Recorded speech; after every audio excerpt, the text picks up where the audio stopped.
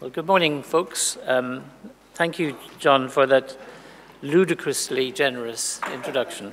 Um, and it works. Um, I, am very pleased to be here. I, I very pleased indeed. I, I, was an engineering undergraduate here from 1964 to 1968, which, if you have a calculator to hand, will tell you that I'm extremely elderly. Um, I really enjoyed my time in UCC. Um, I was the first member of my family to go to university. Um, and my mother, to her dying day, thought it was a mistake because I came away with lots of ideas above my station. That was her view.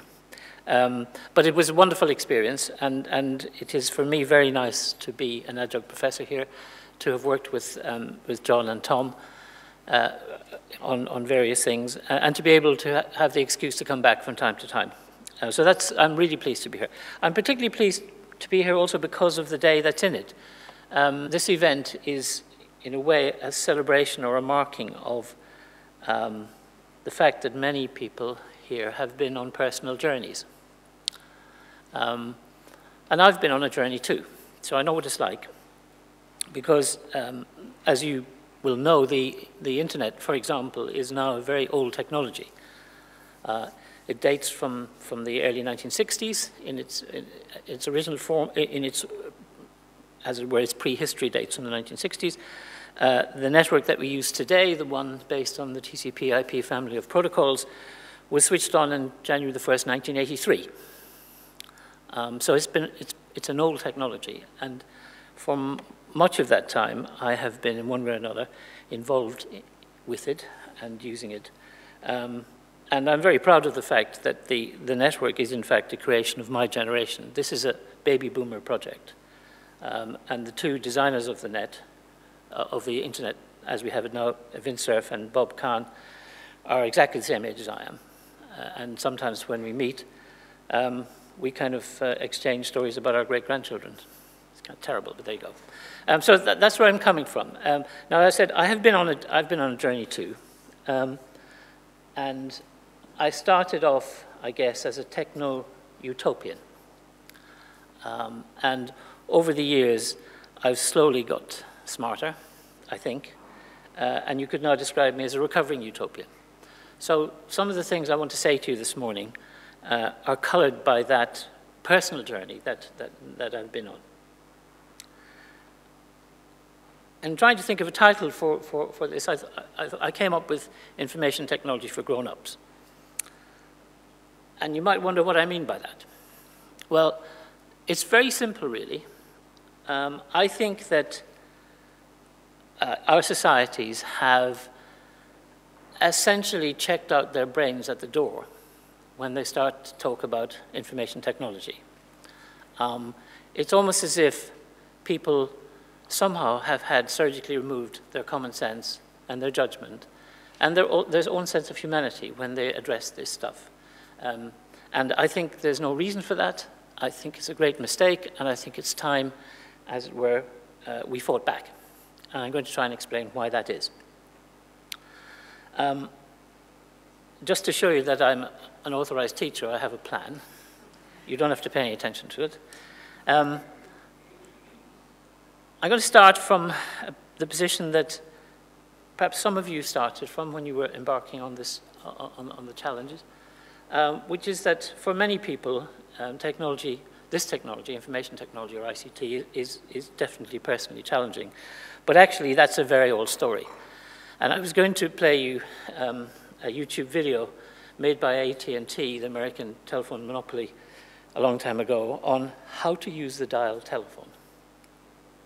For various technical reasons, it's not worth um, playing here because I haven't got an audio link that works. But I recommend that you just Google it and have a look yourself. It's a hoot. Uh, because believe it or not, AT&T uh, had to explain to people how you use the dial telephone. Right? And, and every so often I see, nowadays, I see people saying, well, this is how you use an iPhone. Uh, and the person says, where's the keyboard? And say, well, it, it's a virtual keyboard, you know, and so on. You get this kind of stuff all the time. This has been going on for as long as there's been technology, I think. Um, and let's not worry about it. It, it. But we need to put this in a kind of a, in, in a context. because it still is perceived as being challenging. Um, so I think the beginnings of wisdom are uh, something that a guy called Melvin Kranzberg came up with a while back, the laws of technology. Uh, again, you can, if you Google him or you go to Wikipedia, you'll find them. Kranzberg's first law says that technology is neither good nor bad, but it isn't neutral either. Okay, and that's absolutely critical. It's critical for two reasons. One of them is that when I look at the public discourse about, about ICT in our societies, I hear a kind of absurd debate between people who are fanatically in favor of it and regard people who are not as being somehow deficient, and people who are worried about it, fearful of it, and so on, and think it is the work of the devil. And if you look at the kind of public discourse, what you find is this Manichaean debate between light and dark. And I think that's idiotic.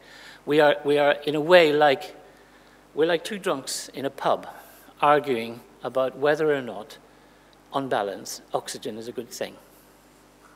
Okay. Um, so my, my feeling about the implications of the, of, of the first law, of Kranzberg's first law, it has a number of important implications, and I think they're good for us in terms of mental hygiene. The first is that I think, and I really mean this, we need to change the way we talk and think about ICT. We need to stop being intimidated by it. Uh, nobody in this room is intimidated by the fact that they haven't the faintest idea how an internal combustion engine works. Nobody. You all, many of you drove here. You use an internal combustion engine all the time. You, you don't have any idea how it works. You're not even bothered by the fact that you, we drive ourselves around using a series of controlled explosions all the time, okay? None of that matters, okay? We're not intimidated by, by except if we're deficient um, human beings like, say, um, uh, the, the, the Top Gear lot um, we're not kind of intimidated or oppressed by this technology in a big way. Okay, we just, it's just something there. But when anything involving computing or the network or, or, or, or apps or anything like that happens, then we suddenly, for some reason, lose this sense of our own confidence. Uh, and we become kind of, I don't know, cowards or something. I see this all the time. So we've got to stop that. There's no need for it, and we have to stop it we have to resist something that's almost like an occupational disease in some parts of the world now. Um, Neil Postman, the great cultural critic, called it technopoly, the worship of technology. Um, you have it in its most extreme form in a part of the world called Silicon Valley, uh, which is full of, which is a kind of reality distortion field. Um, the folks in Silicon Valley, uh, they really think that they're the center of the universe. But not only that, they think also that Palo Alto, which is the heart of this thing, is kind of like the Florence of, Rev of Renaissance 2.0. It's utter nonsense. Um, but for some reason, our world has become so hypnotized by, by this technology and by the people who now control and dominate it that we are actually also subscribing passively to this nonsense as well. There's no need for it, and we shouldn't. So we have to keep our critical faculties in good working order. And I'm going to show you what I mean by that soon. And we have to accept something. What we have to accept is that, going back to Kranzberg's first thing, which is that technology is, is, as I would say, both good and bad. This technology is both wonderfully empowering. No question about it. It's absolutely wonderful stuff in terms of augmenting human capabilities uh, in terms of helping us do things that we couldn't do before, in terms of enabling us to communicate with people we couldn't communicate with before. Wonderful stuff. And it is also alarmingly dangerous in what it's doing to us. And it's both at the same time. So a grown-up discussion about this stuff starts from there. A good first principle is to stop talking about offline and online. There, there is no offline world anymore. Once upon a time there was. For example, in the 1980s, when the internet first was first developed and, and it was a playground for geeks like me, um, there were two parallel universes. One was called cyberspace, and that was the space, the, the, the virtual space in which the researchers who worked uh, on, the, uh, on the early uh, internet uh, during its research phase from 73 to 83, and then the first uh, decade after 83. Um, it was a completely different place from, from what John Perry Barlow, the great lyricist of the Grateful Dead, calls meat space. In other words, the space where reed people lived. Um, and, and, and those two parallel universes existed side by side, and they had almost nothing to do with one another. And that was true until about 1993. And then in 1993, something happened. Uh, a, a, kid called Marc Andreessen and a programmer called Eric Bina, they released the first thing we would recognize as a real web browser. It was called Mosaic. And from that moment onwards, the ordinary world, the world of meat space, finally sussed what this internet thing was all about, because nobody had any idea in the 80s what it was about. But suddenly they thought, oh, hey, this could be, this is interesting, this could be used. This could be used for business. This could be used for pornography. This could be used for all kinds of other stuff. And so what happened is that those two parallel universes merged. And they merged to create the world that we now inhabit. And it's a very confusing world because it combines two aspects of universes that were originally parallel. Um, so we have, we, we have this world in which uh, it no longer makes any sense at all to talk about the offline world and the online world. Um, the internet is part of everybody's life. The technology is part of everyone's life. Um, there will be soon 5 billion users of the internet, okay, out of a planet with a population of 7 billion, right? Okay, there's no point in talking about this stuff as if it's just something else, removed from our everyday life. And of course, you know that yourselves in your own, in your own um, experience. Uh, is there anybody here today who has not used the internet this morning? Okay, I rest my case. This is the world we now inhabit. So, in you thinking about teaching and learning, that's where you start from. Now, you wouldn't have started from there 15 years ago or 20 years ago, but you do now. What does that mean? Well, an interesting case in point is um, the, the, the arguments that go on among educators about social networking, and in particular about Facebook. Um, for example, uh, university teachers uh, who are bothered by the fact that they discover that the students in their, in their MA class um, are not only discussing the course in, their, in a Facebook group, but actually swapping ideas for answers to the exam questions. Okay? And there's shock horror, like, like um, like Victorian maiden aunts, uh, shocked by uh, a, a, naked butler, um, that students are doing this kind of stuff, and, and, and, and what are we going to do, and so on and so forth. Um, the truth of the matter is that uh, whether you like it or not, uh, the university that you have to live in as, a, as, a, as an educator now includes uh, social networking, and it includes, among other things, the most powerful, one of the most powerful agencies we have ever seen as human beings. It's called Facebook. Uh, Facebook, as I talk today, has 1.65 billion users. If it were a country, it would have a seat in the Security Council of the United Nations. It has more people now than China. Okay. And half of those people use this site every day. Okay. There is simply no ignoring this. Um, for all kinds of reasons. Um, but, but one of them is, that is, is the colossal power it now has over, over our, our existence.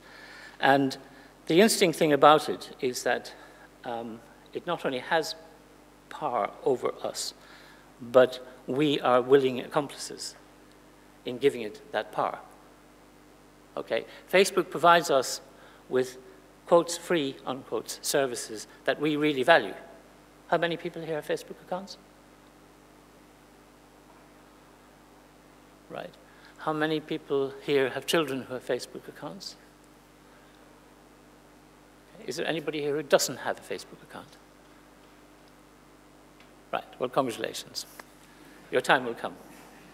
Um, but, but, the point I'm trying to get at is that um, if, for example, if, if you're running, uh, as I, I, teach master students in Cambridge, if, if, you're, if you're running anything in the educational world now, one of the things you should take on board is that this is where your, your students are going to be, and this is in one way or another where you should be as an educator. Okay, it's not rocket science, uh, but but on the other hand, it goes against the educator educator's grain. We don't want to have anything to do with this stuff really. Uh, well, whether you do or not, I think you're stuck with it. And the problem, of course, is that Facebook is not a charity. Facebook is a huge capitalist business. Uh, and what it, what it makes its money from is you and me. Um, it's, it, you, a better way to think of it would be like we used to think about the oil companies. These are companies that extract oil from the ground and they process it and refine it and sell it. Well, what Facebook does is it also extracts non-natural resources and they're the data that you create, every, we create every time we use their service, and then they sell the, the, the, the, the digital trails uh, to, to folks we have never heard of using auction systems that we can't even dream of, and so on. So you've got to, you've got to be real about this. This is, um, th this is something that's both sinister and very powerful, and also very useful. Um, so having, having, having recognized that we need, to, uh, we need to address the world as it is, and Facebook is a really important part of the world as it is, we also need to have a second kind of conversation which we tend to avoid, which is we need to understand what the technology is doing to them, to our students, and to us. And that's a conversation that really needs to be developed. Now, you hear it, of course, uh, in all kinds of ways. You hear it in family conversations, in, uh, for, when people worry about children and, and this technology. Um, and there's a vague sense of unease. The kids are always using it. Uh, actually, it's not just the kids. Um, everybody's using it. Um, and, and the idea that this is not having serious impact on us is nonsensical. This is having really serious impacts on every aspect of our beings. Uh, and you don't, it's not a technophobic argument, it's a realist argument. That's the point. Because people who don't like the technology always say that this is happening, and those of us who use it uh, and like it and feel comfortable with it, and the rest would think, well, that's just because they can't stand the technology. No. The only realistic, grown-up attitude to this technology is to say it, it has all these wonderful affordances, and it has some really scary ones. And the scary ones are, are not just surveillance and, and the things that, that, that, we know about. They're also the fact, for example, that, uh, we, that, that the, the dominant technologies, communications technologies that people use change the structure of your brains. Uh, reading, reading changes the structure of the human brain because it's a very plastic organ. That's why the brains of, of people who are illiterate are different in structure from the brains of people who are. And it's inconceivable that the same thing hasn't happened with this technology now. But that's, that's almost a relatively minor thing. The more important things are things like suddenly um, the, the, the erosion of faith in anything connected with face-to-face -face conversation. Um, and you see that in all kinds of ways, for example, in the way in which um, people will, families now, uh, will choose to use text or email as a way of having arguments rather than having them face to face. There's a flight from, from person to person communication which is engendered by this technology. And that's real. Uh, it's very worrying, um, and I think it's, it's getting worse. Um, and we need to have that as part of the conversation, not as a conversation between technological enthusiasts and technophobes, but in terms of grown-ups sitting down and saying, okay, we have something serious here. There's a really good book which I recommend, Sherry Turkle's book, uh, she's been, this is, a, this is a furrow she's been plowing for a long time, but she, her new book is a very interesting one about that. Um, and she, she, there's a lot of interesting psychological um, uh, evidence now for this. For, for example, a famous uh, psychological experiment in which American undergraduates were, um, were asked to sit alone and silent uh, for 15 minutes. And they were given the option that if they were getting bored, they could administer electric shocks to themselves. Some of you will know the experiment. Actually, many of them started after six minutes. People have real difficulty in, in, in handling solitude now, real difficulty. And it's not just university undergraduates in elite American universities. It's everybody. Uh, I've taken to watching people in public a lot. Um, and what you see, for example, if, if people are waiting for a bus, adults, grown-ups like you and me, what do they do? For two minutes they wait and then the phone comes out. Okay. Everywhere you go, you find people unable to be on their own, uh, but needing to use their phones. Okay. And this is, this is all very convenient for the industry because the industry, remember, is an extractive one. It has to have a constant supply of data. And every time you use your phone, you're supplying it. Okay. But, so so we're, we're caught up in something very big and very important and very interesting. Um, and it means a flight from, from things that, we, that make us human.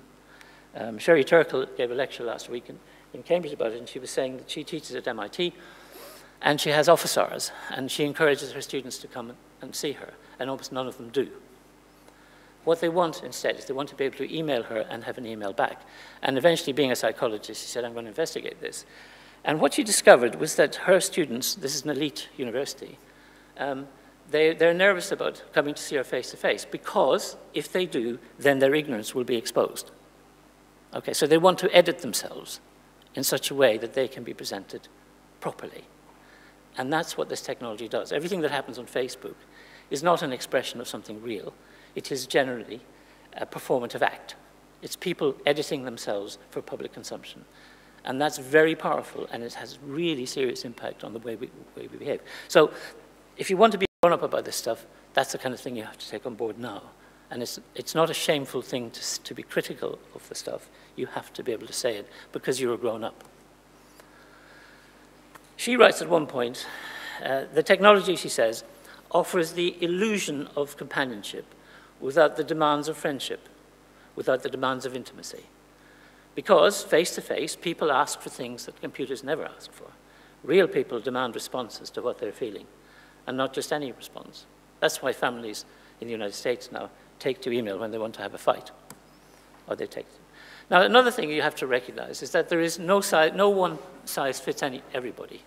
And as educators, you will know this already. Every, every, one of us is different. If I were to go and look at each of your PCs or, um, or, or uh, um, tablets, and I was to examine the ecosystem of apps that you use, in every case they'd be different. In every case. And that's because we're ingenious tool-using human beings, and we eventually try and adapt this technology to meet our personal needs. And everybody's personal needs appear to be different. It's absolutely fascinating. To, I mean, I do it all the time, asking somebody, uh, can I, see, can I see your laptop? It's like saying to somebody, can I see what's in your handbag? It's very revealing. I, I can tell instantly from the way in which people file stuff on a computer when they started using computers. It's that simple.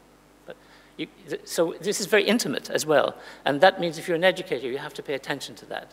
There is no one size fits all thing for anybody. Um, now, one of the other things I've found in conversing, especially with educators in this business, is that um, they're all making more or less, not all, but most, most, most institutions um, make the same mistake. Uh, they, and the best way of describing it is from this famous interview with the greatest ice hockey player who ever lived, apparently. I don't know anything about ice hockey, but this is, I, I take it, Wayne Gretzky. And somebody asked him once in an interview, why are you so good? And he said, well, because the other guys, they skate to where the puck is. And what I try and do is I try and skate to where the puck is going to be. Right? Most people in the IT using IT for education are skating to where the puck was five years ago. Some good ones are skating to where it was uh, last year, uh, and very few are skating to where it's going to be, where they think it might be. And that's, that's endemic in the whole institutional setup of, of IT for education uh, at the moment. Then, here's the thing that really bugs me. Uh, I've lost count of the number of people who have said to me with great delight or have passed me a YouTube, a link to a YouTube video showing a small toddler playing with an iPad right? Or looking at a mobile phone or whatever, and say, isn't it wonderful? Look how adept these children are at this stuff. And I think, you know what? Your children are not chimpanzees, but you're treating them as if they were. Because what kids, what that celebrates is the fact that we are bringing up generations of children who are adept manipulators of black boxes which are created by technological elites somewhere else for profit. And when I say a black box, I mean, as an engineer, that's something that, whose innards you do not understand. And in bringing up our children and celebrating the fact that they are these kind of adept monkeys using this black box stuff, we are doing them a great disservice in the long run. And the reason is that they're going to grow up in a world which is run by computers and computer software. And if they don't understand some important things about this stuff, of which the most important is that computer code is malleable. It's not something magical. It's not something fixed. It is something that's written by human beings and which can be changed and sometimes must be changed. But if you don't understand that, then you, your choices as children growing up in a new world are the, are the one described by Douglas Rushkoff in that book of his. You, you have a choice of program or be programmed. Um, or to put it at a higher level, you wind up in a world uh, described by Frank Pasquale, American lawyer, in, in a really interesting book, The Black Box Society. And the point is that um, all of this stuff is human creation. Software is just, is just human, it's, th it's thought stuff. You have an idea, you write it down, a computer eventually executes it. But it's not, it can be changed. That idea turns out to be very hard to get across to most people and yet it's one of the most important ideas I can think of. Um, in Britain, uh, there have been some interesting developments in that area. This, this, for example, is a Raspberry Pi. Okay. It's a credit card-sized computer, which was designed by some of my colleagues in the computer lab in Cambridge, which has currently sold 7 million and rising. Okay. And it's a small machine, which it's a completely functioning, rather powerful computer. And if you hook up a keyboard to it and you hook up a, a television set to it and the rest of it, you can, and you can, you can run Linux on it, you can run all kinds of very interesting stuff on it. It's really powerful. And it costs uh, 25 pounds. There's a cheaper version for 15. Um, and and so, so it's not that the stuff is fantastically expensive and fantastically distant from you and all the rest of it. It isn't like an iPad, it isn't like an iPhone, it isn't like a Samsung S7. It's something that it's just, it's just a bit of kit. And it can do magical things if you can write the code for it. So the, the point of it is that this stuff is not a black box, and we should never treat it as a black box. We should be aware of it. Now, that's easy to say. It's very hard to get across. Um, I was one of a group of people in, in the UK, which, which campaigned to persuade the Secretary of State for Education, who was then Michael Gove, uh, to change the ICT curriculum in British secondary schools. Uh, I don't know what it's like in Ireland, but let me tell you that in the British secondary system, the ICT curriculum was dire, utterly dire. Why? Because essentially it was about, it turned out to be, it was about training kids to use Microsoft Office. That's what it was, actually. And my kids would come home to me and say, Dad, you won't believe this. And I said, what? Said, we had to do PowerPoint. Or we had to do Excel. Or, and so I, I, like many of my colleagues who embarked on this campaign, we did quite a lot of public speaking. And I used to go and talk to school governors and public, uh, address public meetings and talk to uh, Parent Teachers Association and the rest of it. And I, I, would say, look, what we're doing is we're, we're, we're, we're, um, we're, we're teaching them to use something that's pre-baked by somebody else. And what's really important is they must understand, they must understand that software is not something given, it's something that can be changed and something that must sometimes be changed to meet people's needs.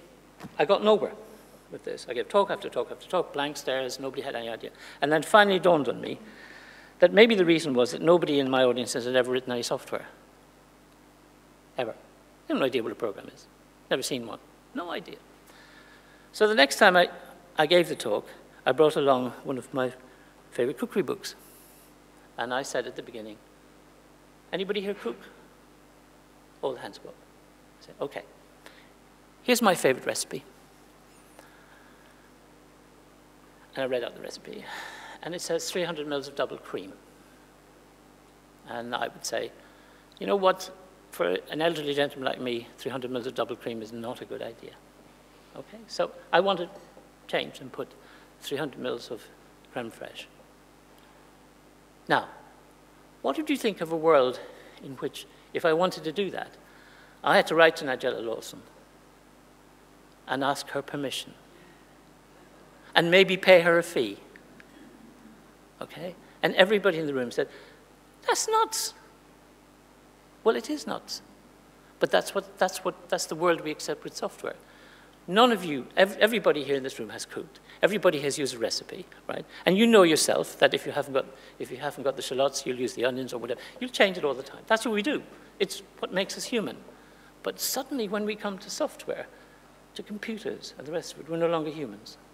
We're some kind of tolerant, passive automata, afraid to exercise our, our humanity and our freedom and all the rest of it. Um, what's the, what's the, the message from that? The message is actually simple. It is that when we talk about this stuff from now on, we need to talk in language and use concepts that people understand.